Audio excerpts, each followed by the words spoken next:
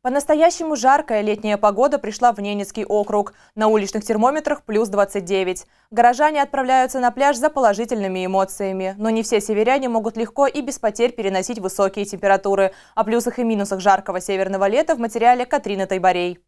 Наконец-то в Ненецком округе наступило настоящее лето. Столбики термометров поднялись выше 25 градусов, и жители округа активно выезжают на природу. На местном пляже в районе Голубых озер можно отдохнуть не не хуже, чем на южных курортах. Ну, конечно же, существует и своя специфика отдыха на природе. Ведь каждый выезд за город сопровождается ритуальными танцами в виде отмахивания от комаров и оводов. Несмотря на надоедливых насекомых, наринмарцы выезжают на пляж и ловят теплые лучи солнца. Юные жители округа Серафим и Прохор Некрасовы играют на песчаной полосе под присмотром родителей. Тут хорошо. Угу. И солнце ярко светит. А чем тут занимаетесь? Мы тут играем на площадке. Потом, наверное, купаться.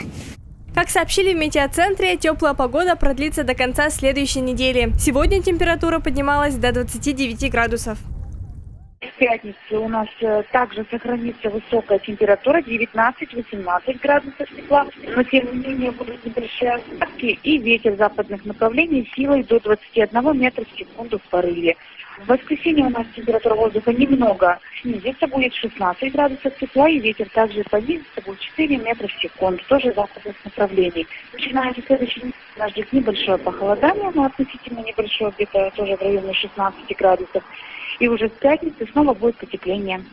Для многих северян высокие температуры не приносят удовольствия, а напротив, негативно влияет на их общее состояние. Поэтому таким жителям Ненецкого округа медики рекомендуют старайтесь максимально закрыть тело.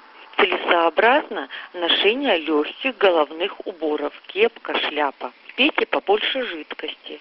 Лучше выбрать обычную негазированную воду. Занятия спортом в сильную жару не рекомендуются, поскольку нагрузка на сердце увеличивается и организм работает на износ.